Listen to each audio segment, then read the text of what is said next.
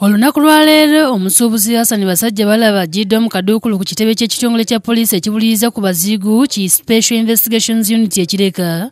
N'atwalibwa mu kkooti ewozesa abakenuzi n'abalyako ekololo gyasomeddwa emisango esatu okuli ogw'okubulankanya ensimbi za gavumenti okujingira empapula za kkooti asobole okufuna obuwumbi 42 n'omulala kyokka nga gyonna agyeganye. Embeera emu bijiridde mu kkooti era bakiri entu yazisangulira kumukumu nga kabuze kataakaabe okukakana nga ajjemu ne sweta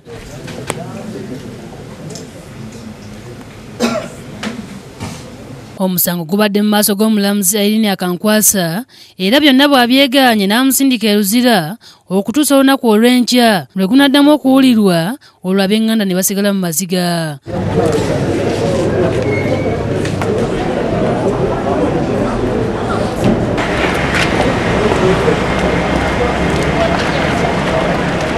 puliida we kavuma kabenge ayogeddeko n'omusasi waffe n'alaga obutali bumativu ku ky'okusindika omuntu we mu kkomera wabawa byasabye okwetegereza empapula z'abantu abamuyimirira ah, era n'obudde nga bemulabye bamuleese obudde buyise saa kumi n'emu.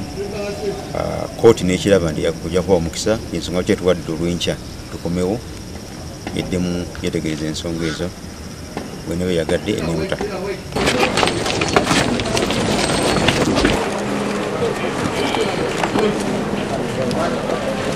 mathias sebwato ne moses kimera be bakusakidde eggulire lino ku lwabukedde tv ekololo